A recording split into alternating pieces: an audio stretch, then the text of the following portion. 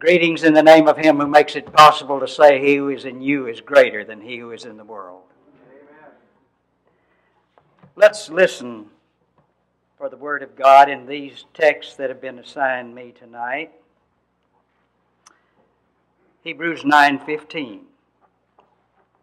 For this reason, Christ is the mediator of a new covenant, that those who are called may receive the promised inheritance, eternal inheritance, now that he has died as a ransom to set them free from the sins committed under the first covenant. The second passage is from Hebrews 12, but it's kind of like a diamond set in a cluster here, and I want to read a little bit more than just that verse. Beginning with verse 18 You have not come to a mountain that can be touched and that is burning with fire, to darkness, gloom, and storm, to a trumpet blast, or to such a voice speaking words that those who heard it begged that no further word be spoken to them, because they could not bear what was commanded. If even an animal touches the mountain, it must be stoned. The sight was so terrifying that Moses said, I am trembling with fear. But you have come to Mount Zion, to the heavenly Jerusalem, the city of the living God. You have come to thousands upon thousands of angels in joyful assembly, to the church of the firstborn whose names are written in heaven. You have come to God, the judge of all men, to the spirits of righteous men made perfect, to Jesus, the mediator of a new covenant, and to the sprinkled blood that speaks a better word than the blood of Abel. Let the Spirit who inspired those words so long ago breathe through them afresh and make them live for us. It was Judgment Day, and an angry mob milled about on the plains. People had come from everywhere to judge God. In their frustration, some shouted one thing and some another. How can God judge us? What does He know about our fears, our dreams, our struggles? Let Him come down off that heavenly throne and find out how we feel. Let Him come where we are. Yes, cried a poor man. Let him be born in poverty, work with his hands, be a nobody, one of the faceless poor. An Israeli responded, Let him be born a Jew and persecuted because of his faith a black joined in, and let him be discriminated against all his life. An unwed mother added, and let his parentage be questioned continually. The crowd continued to rail against God, heaping up conditions for his qualifications. A prisoner shouted, Let him be seized by the authorities, tried without counsel, and condemned without justice let him feel the full tyranny of the state. A young draftee cried, and Let him die young, with a heart full of unfulfilled dreams. And an atheist added, And let him die calling on a God who does not intervene. They cried themselves hoarse, piling up accusations against an absentee God, agreeing that he had no idea what their life was like. He'd have to live it out, die their death, and be raised if ever he was qualified to be their judge. Well, of course, you know by now that scene is unreal. Or is it? Literally, it's not true. And yet, in a deeper sense, uh, soul searing, wrenching, self exposing, time defying, world embracing sense, it is true. Amen. It's exactly the charges the Hebrew writer was having to face. You want somebody who knows the real you? You need somebody who knows you through and through and cares about you still. You want one of your own to be your go between? That's what you want? One who will never forget where he came from, nor where he's going, nor what his business is. You want somebody who not only knows and cares, but will spend himself on your behalf and can change things all around. You want that? Somebody that can take away your night fears, your bad dreams of Judgment Day, actually clean you up instead of spraying you with this deodorant and letting you go till the stench returns. You want somebody like that? You want somebody that can help you not turn over a new leaf but a new life? Is that what you want? Somebody that can lead you right into the presence of Almighty God and say, Father, she's my sister. He's my brother. And have the Father get down off that throne and walk over and embrace you, crying softly, My child, my dear child, welcome home. Is that what you want? Now, let me tell you. You can't find it, even in the angels. That's what he's saying to them. You won't find it there. In the greatest leaders we've ever had. You won't find it in Moses or Joshua or Colin Powell or whoever. You won't find it in the dazzling, mystifying, hypnotizing sacrificial system presided over by the priest, even the high priest. You will find it in the one who himself has been perfected, has offered the complete sacrifice, and entered into the Holy of Holies itself. Thought when I came up here, I was just about to go through the curtain. He knows the way. He's found it. He's lived it. And you won't find it anywhere but in Him who is the sacrificial Lamb of God, at the same time, the high priest that offers that sacrifice, the beginning and the end, both the offering and the one making the offering, a perfect offering, who is our go between, our mediator. He it is that brings us to God, and He it is who effects the new relationship. Amen. He incarnates the new relationship. Amen. And through our faith union with Him, makes it real not only to us, but in us. Now, some of our brethren who are just finding out about grace early in the, in the game make it effective for us, but not in us. And God, Jesus Christ, does both. Amen. Now, recently I found a sermon on the mediator, and since I'd been assigned this topic, you can bet I read it eagerly. And it was by G.C. Brewer, and those of you that are the non instrument group at least know he was one of our greatest preachers. So I read it, and it was all very biblical and very dull. I knew and knew that you knew what a mediator is before I got up here tonight.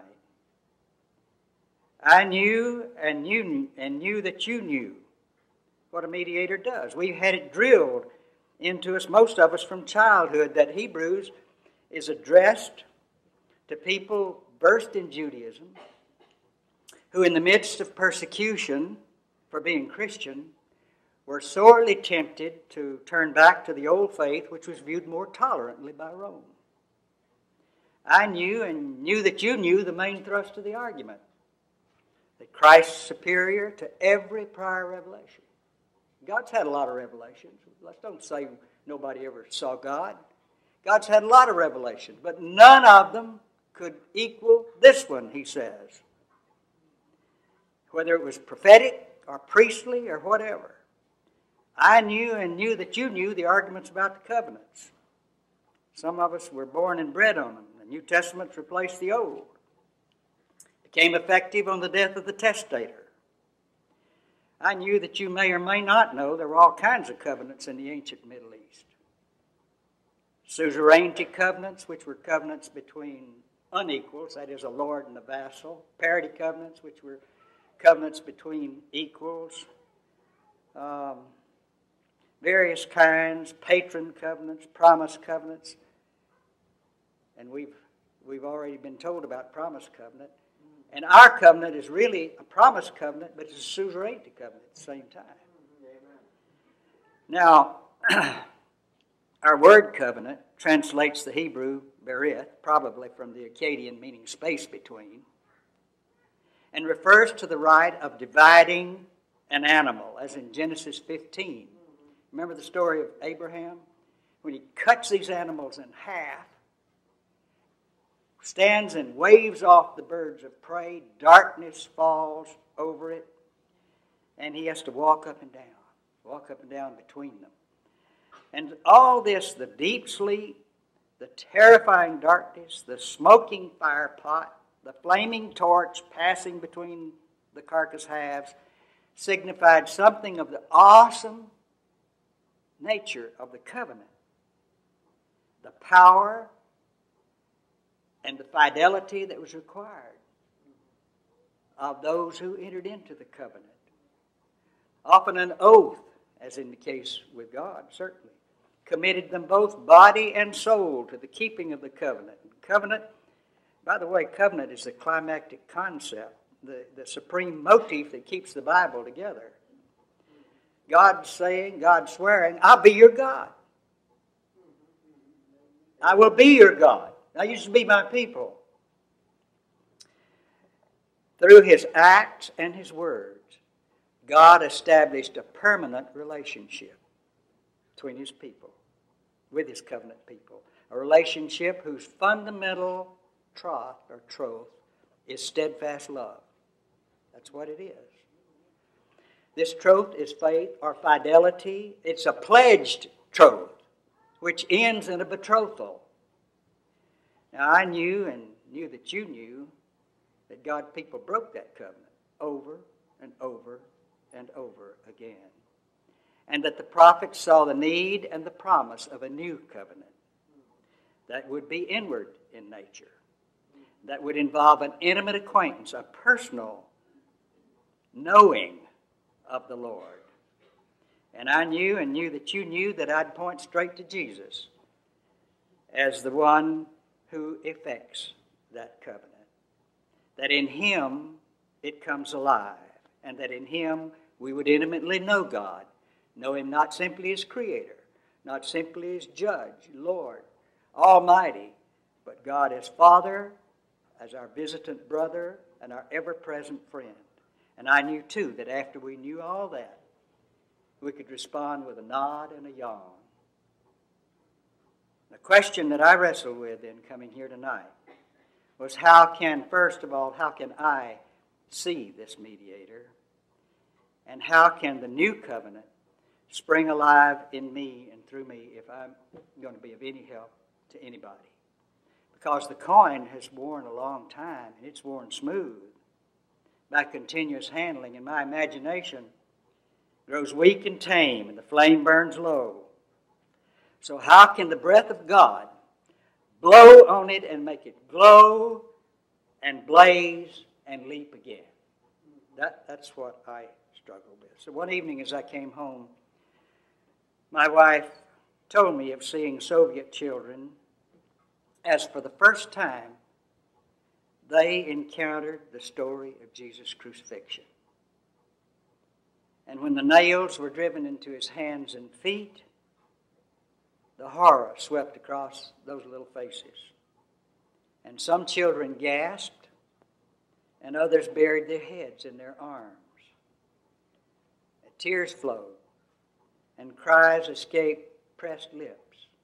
They simply could not believe the inhumanity, the horror, the cruelty. And they certainly could not hear that story and just turn away passively if, as if nothing had happened.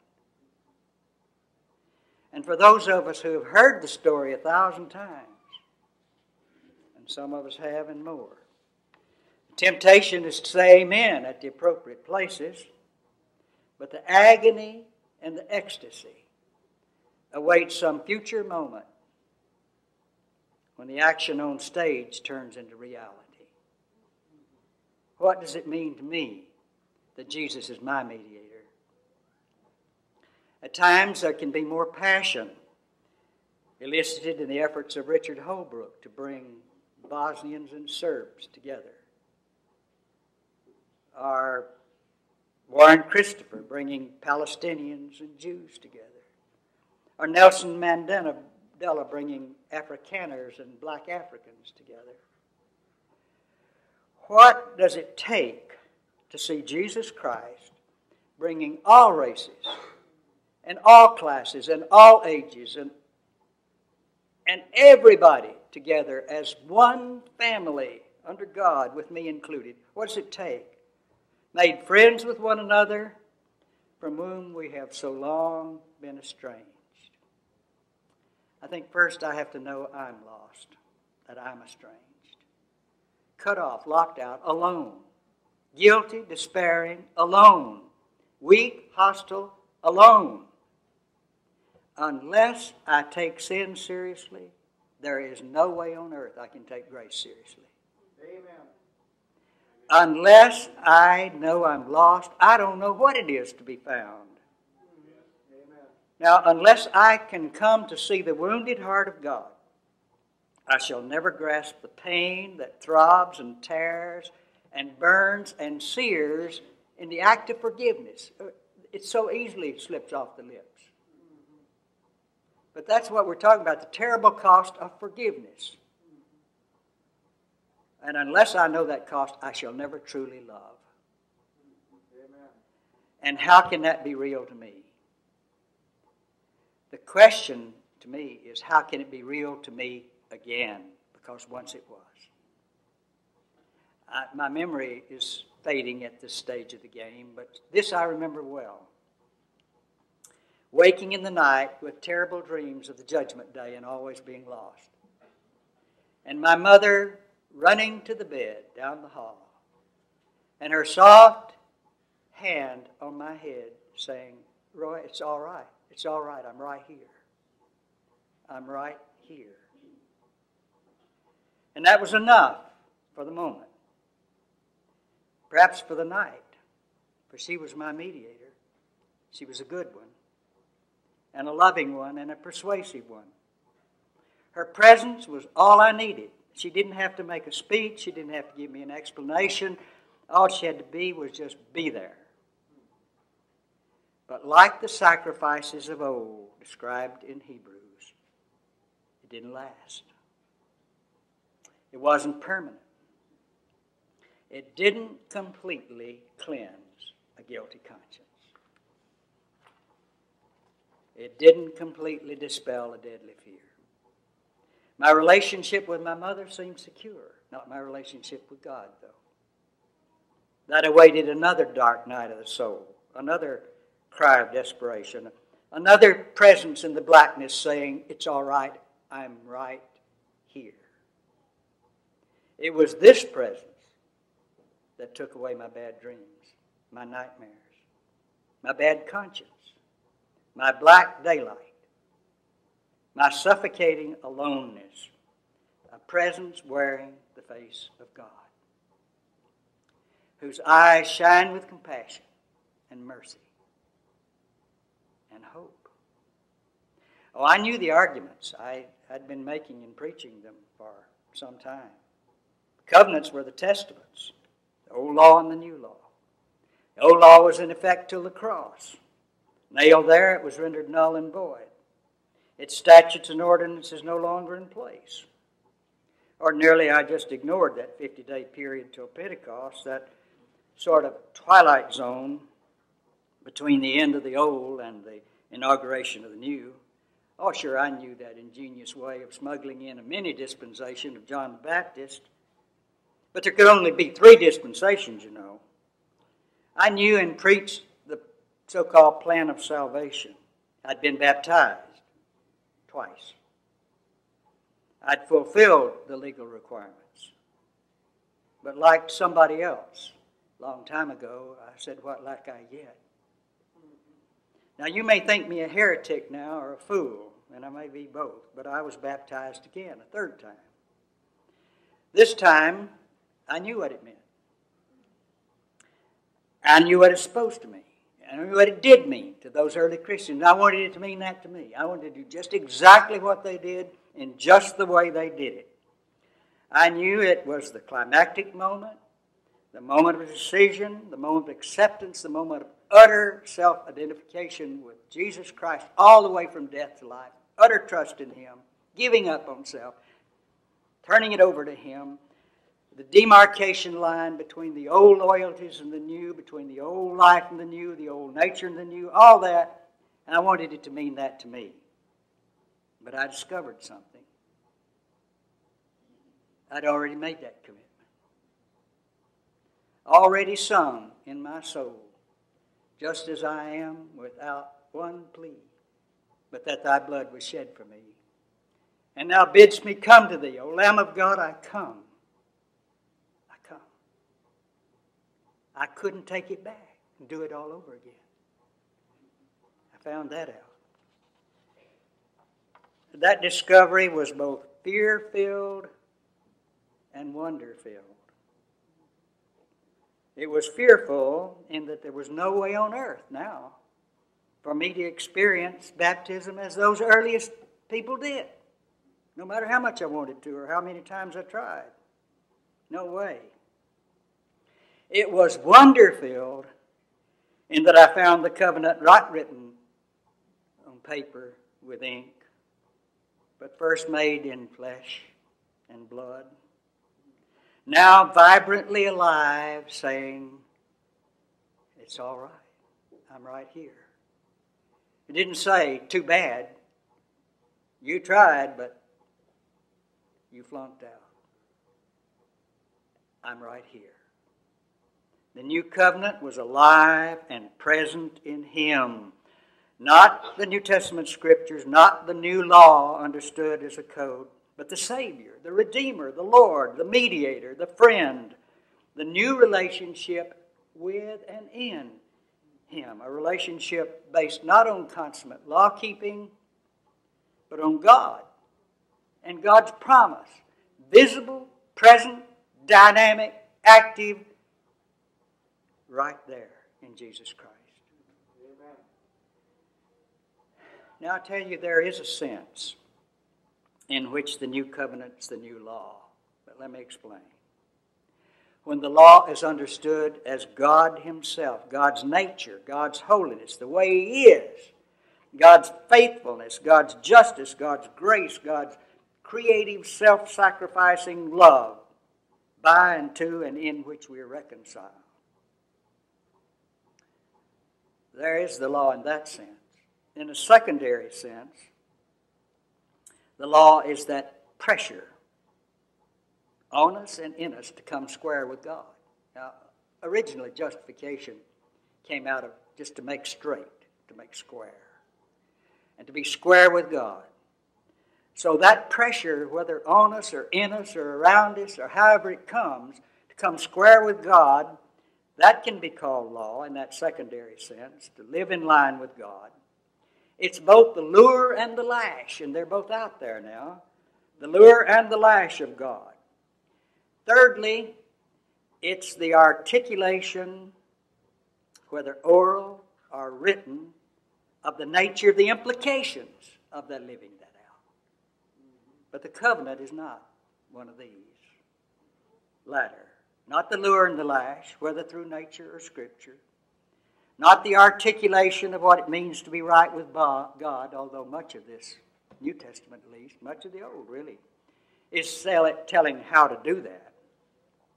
But the covenant is God's affirmation of Himself to us, His own promise of Himself, His outreaching to us, His oath, His pledge to be God if we just be His people. Now, the failure of the Old Covenant was not that it was half an oath, that it was a partial pledge, that it was a weak affirmation, that it was a timid outreach. We've heard the passage already that the fault was in us, and that's true, but that's not the whole truth now. The there is something else to be added to. That fault was in us and not in the law. But there is an inability in the law to reveal God completely. God cannot say himself simply in words, any more than you can say yourself in words. God cannot say himself in his creation. An artist can say a lot about himself or herself in the creation, but not the totality of it. So God could not be fully God's self in the law, not even in the host of angels, as the Hebrew writer says. Not in all that sacrificial system, impressive as it was. In the smoking mountain, as we read a while ago, a table of stones, and he certainly couldn't be one of us. And yet, that's precisely what he must be. If we are to ever hear and see and know, he could swear it to the angels, he could write it in flaming letters across the sky.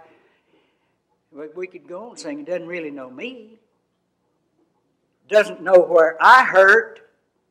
Let him come where we are, live our life, die our death, and be raised again. Then he can know, and then he can help. And so God said, I'll sit, quit sending messengers, and I'll go myself. And now we see who he is and what he's like. We hear his voice, not that of another. We hear not a word about him, but his word, his oath, his pledge.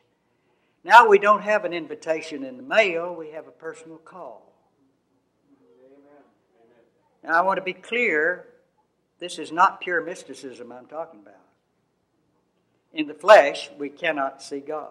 We can't go to God, seek and find God. God must, on shepherd's feet, come seeking us. Come where we are, live our life, die our death, make the effectual sacrifice, move behind the curtain, open up the way into heaven where we can go with Him. He's our sacrifice.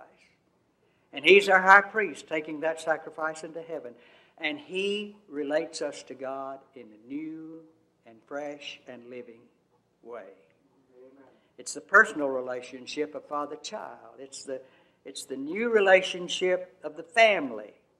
It's the new relationship where the law, his nature, his will, his wish, is instilled within us, written on the hearts. And we want to be obedient.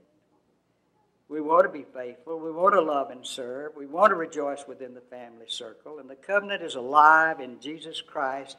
And by contagion, it becomes alive in us.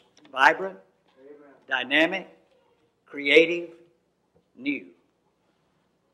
Now, to this end, the writer of Hebrews points out the nature of the sacrifice offered for us that opens up the new relationship to us and then becomes effective in us. I want to say that it was not an ordinary sacrifice. It was not simply a death. That is the destruction of a life. Too many times I think we feel like, well, it just took a life, and it took a sinless life, and so he gave it. But there were three people that died on that Black Friday, and only one of them could be the effective and effectual sacrifice. It was not death now. It was not even the death of a sinless being. For an angel could have made that sacrifice. Or a baby, or a bull, or a goat, or a pigeon. They're all sinless. It was one particular life offered up in death that is offered up to the full. Absolutely, totally, completely offered up. It was one particular life that could effect this opening. Now, the only offering, offering that could cleanse the guilty conscience was referred to by Brother Leon today when he read the passage about doing the will of God. That's a part of Hebrews that we, we kind of do short shrift on. But listen now. We know this verse, for it is impossible for the blood of bulls and goats to take away sin. Why? Why is it impossible? Because God said it would. He could make, no, that's not why it's impossible. It won't cleanse the guilty conscience. It won't do it because we know that's tinkering, playing with sin. Consequently, when Christ came into the world, he said, now we don't believe this part, but he said it anyhow. Sacrifices and offerings you have not desired. Well, of course he did. No, he said you didn't. Amen. Sacrifices and offerings you have not desired, but a body you prepared for me. Ah, a body you prepared for me. Now we may not get it, so he wants to say it again. In burnt offerings and sin offerings you have taken no pleasure. You don't really mean it. Yes. Then I said, See, God, I have come to do your will, O God. 10, 4 to 7. And that's a quotation from Psalm 40. But it clearly sounds the prophetic rather than the priestly note. Micah had distilled the message in a single sentence, sharpened into a question. Micah 6 8. He has showed you, O man, what is good. And what does the Lord require of you? What? To do justice, to love mercy, and to walk humbly with your God. Now, surely you don't mean that. The only thing is that requirement can't be the last word. That's what God requires. But now there must be some way of making it possible to meet that requirement. Jesus echoed that sentiment in Matthew 9:13 when he said, "Go and learn what this means." Now, we've learned many a lesson, but I don't know that we spend a lot of time going and learning what this means. Go and learn what this means. I desire mercy and not sacrifice. Amen. Again in Matthew 12 7, he lifts up the words of the prophet Hosea in 6 6. For I desire mercy, or steadfast love, and not sacrifice. The knowledge of God rather than burnt offerings. Amen. Now, despite all the priestly language of the book of Hebrews, and there's a lot in there, the presentation of Jesus as the high priest, the full and effectual sacrifice, the writer contends that it is the offering of an obedient life, a life straight with God, consistent with the nature of God's self giving mercy and love. It is that offering of that life that opens up the way into the Holy of Holies because He presents not something fake where God confuses the guilty with the innocent and juggles the books and rearranges the sentence. He offered up exactly what God wants and wants from all of us. Not just Him. Instead of our ever having to do anything like that, He wants it from all of us. And He says that, and that's not a substitute. Now, that's a perfect offering, it's a prepared body. Hebrews 10 5, that has done the will of God. Amen. Now, listen to 10 7 to 10. And then I said, See, God, I've come to do your will, O God, in the scroll of the book it's written to me. When he said above, You have neither desired nor taken pleasure in sacrifices and offerings and burnt offerings and sin offerings.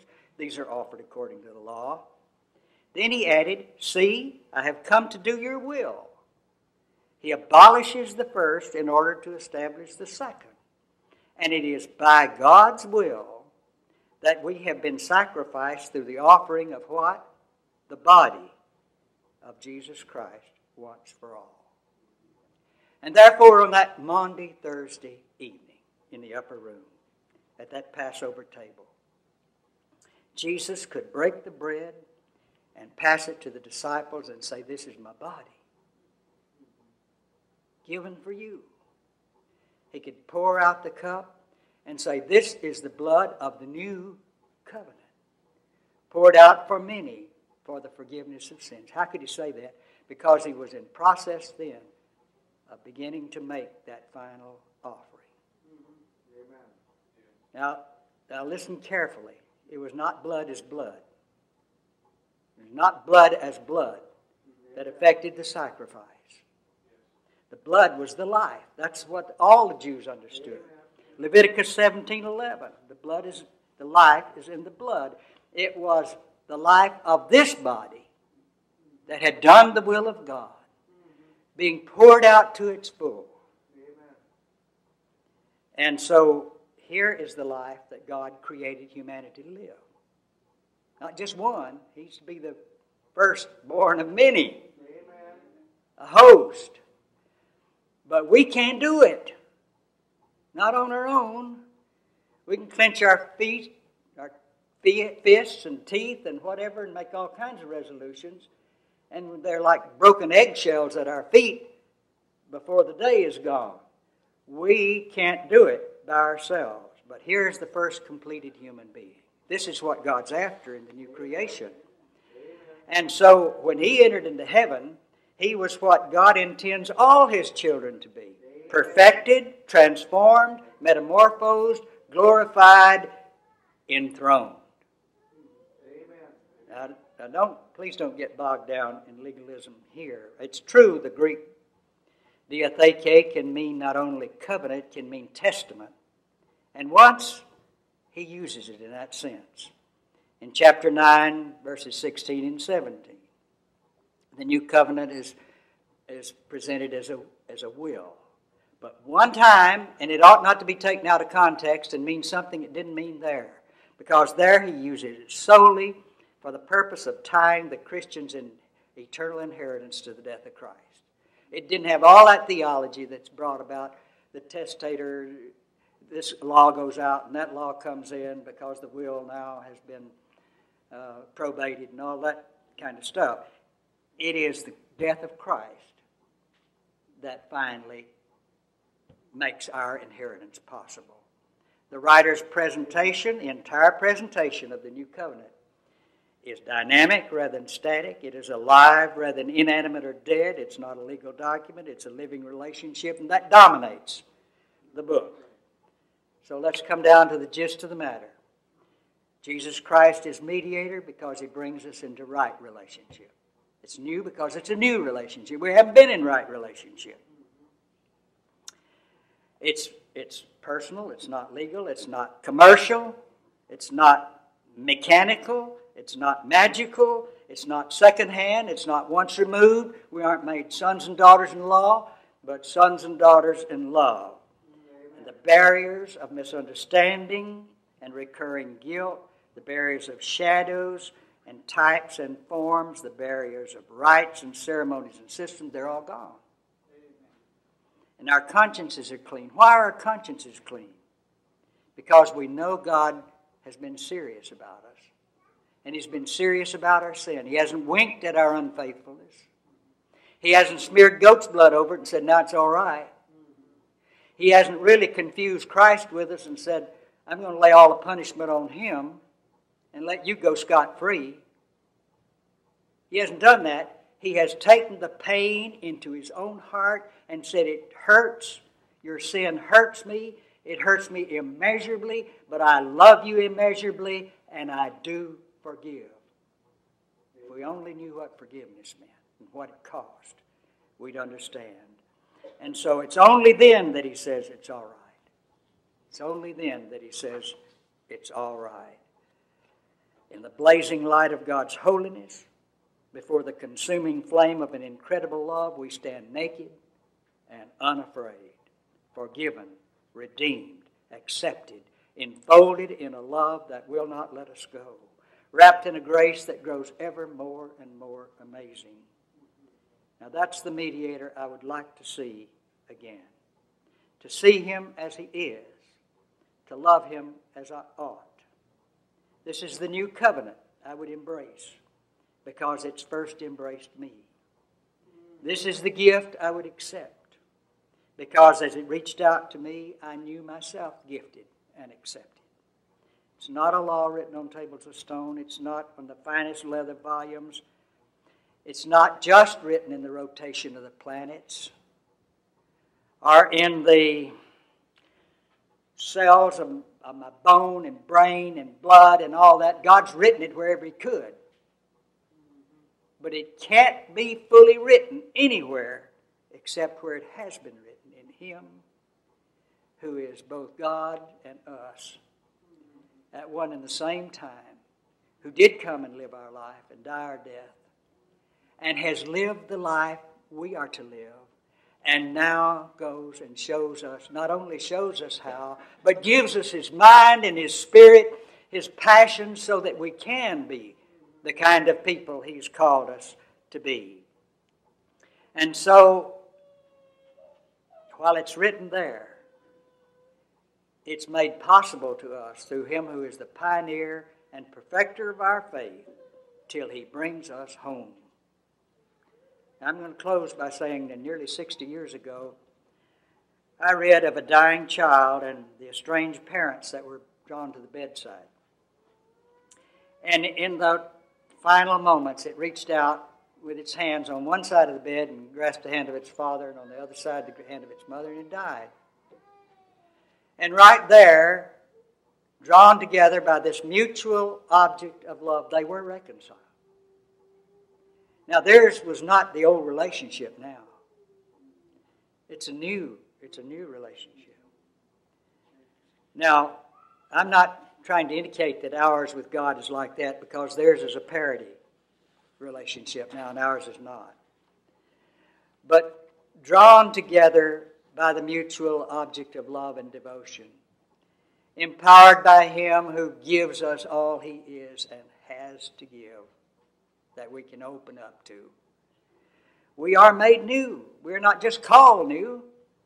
Amen. We are made new in Jesus Christ. We are joined in a union that neither death nor hell can shatter and beyond all theological jargon which I have tried to avoid with you tonight. God's beloved Son, our older brother, has made the broken family whole. And at first, we don't even stop to ask how.